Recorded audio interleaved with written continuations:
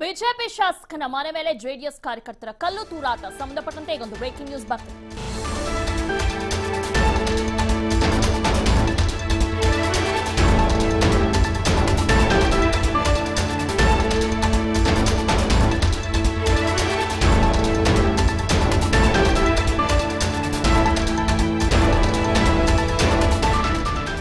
BJP ಶಾಸಕನ ಮೇಲೆ, ಮನೆ ಮೇಲೆ ಜೆಡಿಎಸ್ ಕಾರ್ಯಕರ್ತರ ಕಲ್ಲು ತೂರಾಟ ಸಂಬಂಧಪಟ್ಟಂತೆ ಈಗ ಬಿಜೆಪಿ ಶಾಸಕ ಪ್ರೀತಂ ಗೌಡ ಮನೆ ಮೇಲೆ ಕಲ್ಲು ತೂರಾಟವನ್ನ ನಡೆಸಿದ್ದಾರೆ. ಈ ಘಟನೆಯಿಂದ ಆಘಾತವಾಗಿದೆ.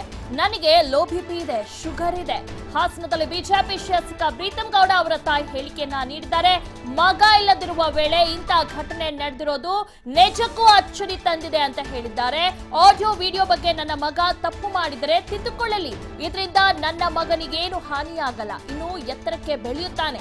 ದೇವೇಗೌಡರ ಬಗ್ಗೆ ನಮಗೆ ಗೌರವ ಇದೆ. ತಂದೆ ಸ್ಥಾನದಲ್ಲಿ ನೋಡುತ್ತೇವೆ ಅಂತ ಹೇಳಿದ್ದಾರೆ. ಹಾಸನದಲ್ಲಿ ಪ್ರೀತಂ ಗೌಡ ಅವರ ತಾಯಿ ನಾಗರತ್ನ ಹೇಳಿಕೆಯನ್ನ ನೀಡಿದ್ದಾರೆ.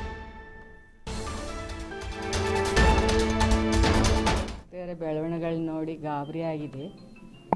ಸುಸ್ತಾಗಿದ್ದೀನಿ ನನಗೆ ಹುಷಾರಿಲ್ಲ low B P sugar doctor ಕಡೆ ಹೋಗೋಣ ಅಂತೇಳಿ ಹೊರಗಡೆ ಬಂದೆ. ಅಷ್ಟರಲ್ಲಿ ನಮ್ಮ ಅಡುಗೆ ಅಲ್ಲಿ ಹೊರಗಡೆ ತುಂಬ ಕ್ರೌಡ್ ಇದೆ. ಏನಕ್ಕೆ ಮನೆ ಹತ್ರ ಇಬ್ಬರು ಪೊಲೀಸ್ ಬಂದಿದ್ದಾರೆ ಅಂದರು. ಅವರಿಗೆ ಹೋಗಿ ಕೇಳಿದೆ, ನಮಗೆ ಗೊತ್ತಿಲ್ಲ, ಅವರು ಹತ್ತು ಗಂಟೆಗೆ ಬಂದಿದ್ದರಂತೆ ನಾವು ಹೊರಗಡೆ ಹೋಗಿರಲಿಲ್ಲ. ಹನ್ನೊಂದುವರೆಯಲ್ಲಿ ಯಾರೋ ಗೆಸ್ಟ್ ಬಂದರು ಬಾಗಿಲು ತೆಗೆದಾಗ ಅವ್ರು ಹೊರಗಡೆ ಕೂತಿದ್ರು. ಏನು ಯಾಕೆ ಬಂದಿದ್ದೀರಿ ಅಂತ ಕೇಳಿದಾಗ ಅವ್ರೇನು ಮಾತಾಡಲಿಲ್ಲ. ಗೆಸ್ಟ್ ಹೋದರು. ಅವ್ರು ಹೋದ್ಮೇಲೆ ಈ ಮಗು ಹೊರಗಡೆ ಹೋದಾಗ, ಅಮ್ಮ, ಹೊರಗಡೆ ತುಂಬ ಕ್ರೌಡ್ ಇದೆ, ಯಾಕೆ? ಅಂದ್ಲು. ನನಗೂ ಗೊತ್ತಿಲ್ಲ. ನೀನು ವಾಪಸ್ ಬಾ ಮನೆಗೆ. ನಾನು ಒಬ್ಬಳೇ ಇದ್ದೀನಿ, ಆಸ್ಪತ್ರೆಗೆ ಹೊರಟಿದ್ದೀನಿ.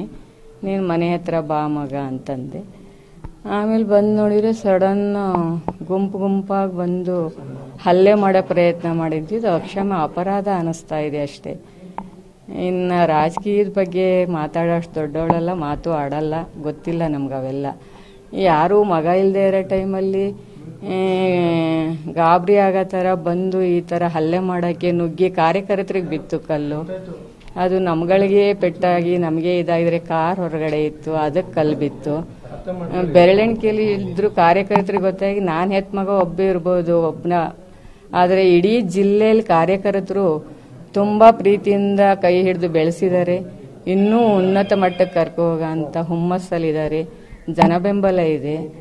ಅವನಿಗೆ ಇಡೀ ಹಾಸನ ಜಿಲ್ಲೆನಲ್ಲೇ ಒಂದೊಳ್ಳೆ ಪ್ರಬುದ್ಧವಾದ ಒಂದು ಕ್ವಾಲಿಫೈಡ್ ವಿದ್ಯೆ ಕಲಿತು ಮಗ.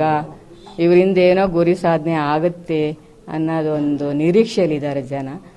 ಆ ನಿರೀಕ್ಷೆನ ಭರವಸೆ ಕೊಟ್ಟು ಮಾಡಬೇಕು ಅಂಥೇಳಿ ಎಲ್ಲ ಅಭಿವೃದ್ಧಿ ಕಾರ್ಯ ಮಾಡಬೇಕು ಅಂಥೇಳಿ ಅವನು ತುಂಬ ಶ್ರಮ ಪಡ್ತಿದ್ದಾನೆ.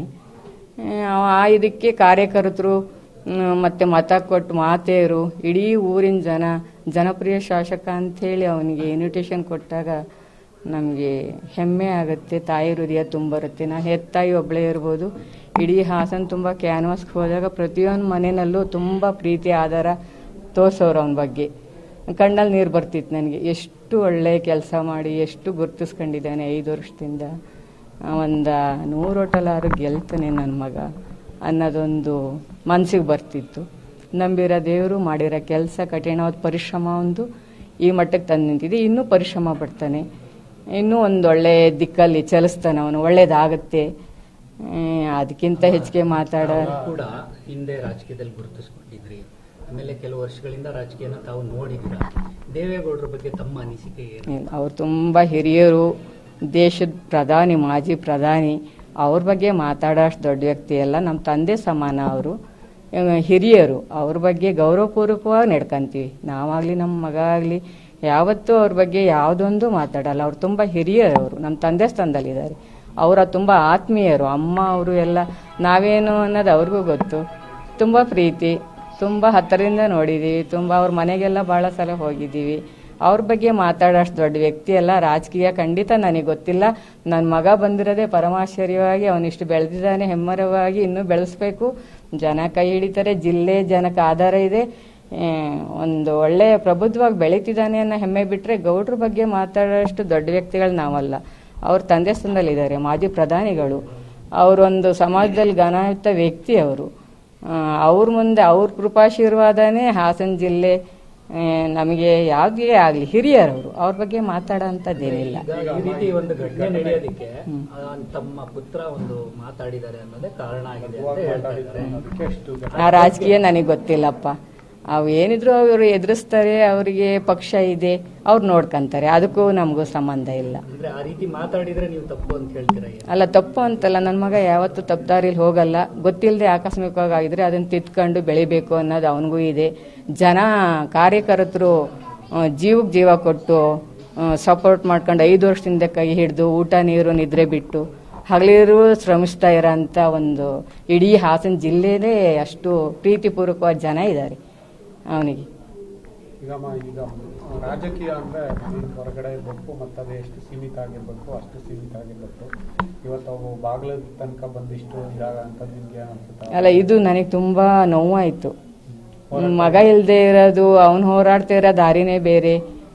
ಇದೊಂದು ಸಣ್ಣ ವಿಷಯ ಏನೋ ಆಡಿಯೋ ವಿಡಿಯೋ ಅಂತ ಹೇಳಿ ಮಾಡ್ಕೊಂಡು ಅವೆಲ್ಲ ಅವನಿಗಿನ್ನೂ ಇದ್ರ ಇವೆಲ್ಲ ಆಗೋದ್ರಿಂದ ಅವನಿಗಿನ್ನೂ ಒಂದು